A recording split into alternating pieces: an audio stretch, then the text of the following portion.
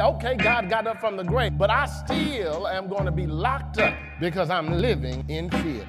Hello, buddy boy, my name is Fear. I'm the reason why you wanna disappear and don't wanna hear about reaching your goals. I'll have you stuck in bed at your little home as if you on parole, being stuck in your cave. What do you know about living by the grace? In Jesus' name is how you overcome. I put out your lights and have you feeling dumb. You nothing but a chump, I'm your worst enemy. I stop your blessings and I stop your belief. You ain't gonna receive if you run from your Goliath. I'm feared to make your giants much higher.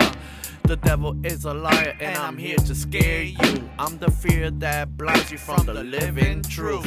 What would Jesus do? But I'm the one who makes you run. I put fear in your heart as if someone points the gun. You can overcome if you believe in the word. As of now, I got you trapped and feeling like the biggest turd. They was up there in the room, the doors were shut. The disciples were assembled for fear of the Jews. Let me break this down here. John declares that their fear is what kept them locked up. John was trying to tell us three things about fear. I don't see titles, whether you're a preacher or a prophet. Had many scared, locked in their own closet, Bibles in their pockets. Instead of reading and praying, got you shook to a point you stuck right where you're staying. I ain't playing, I'm here to ruin your dreams. I got your scared, melting away like ice cream.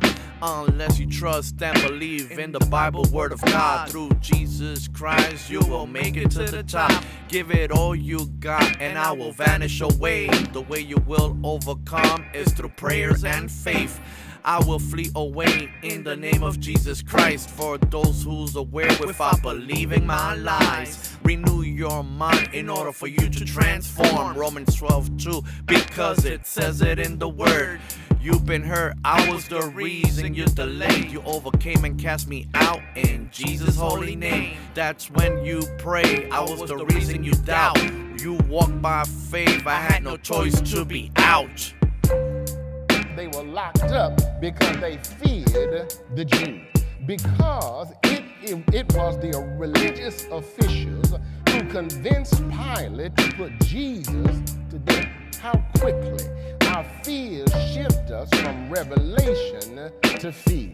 It shifts us from the infinite power of Almighty God to the finite power of people. Let me tell you, your fear will distract you from what the power that God has to the power that people have.